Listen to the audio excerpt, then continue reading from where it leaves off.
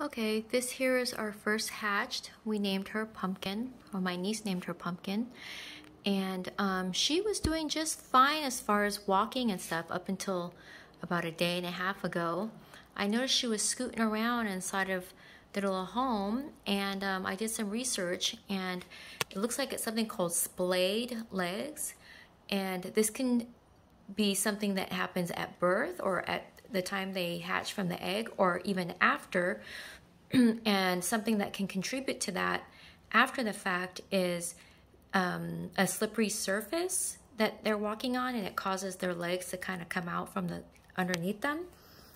And um, I guess they get weak muscles and so it's hard for them to stand upright. So she's just scooting around and um, a video I saw said to try putting them in a shot glass, putting her in a shot glass, and it does seem to be working as far as forcing her to stand up on her hind legs, which I haven't seen her do in the last day and a half.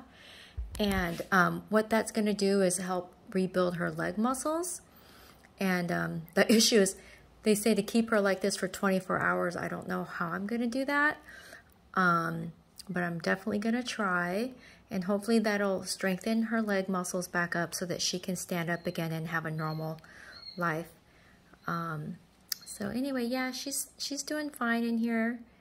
She might be kind of wondering what the heck's going on. She probably wants to go back with her brother and sister, but um, or her two brothers.